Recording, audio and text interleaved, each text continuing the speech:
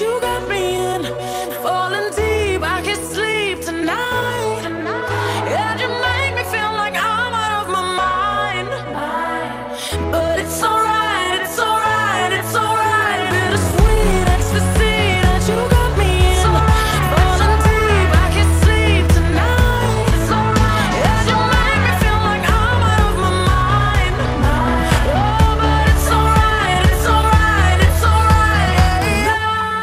serious about putting my past behind me and about finding true love.